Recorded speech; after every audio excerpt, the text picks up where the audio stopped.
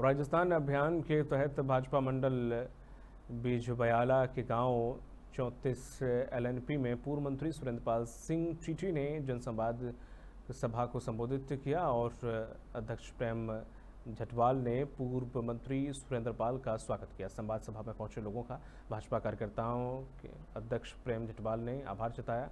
और सरकार की विफलताओं को लोगों के बीच रखा इस आयोजन के दौरान कार्यकर्ताओं ने सभा स्थल पर रैली निकाली। इस मौके पर महिलाएँ, ग्रामीण सहित भाजपा के कार्यकर्ता मौजूद रहे।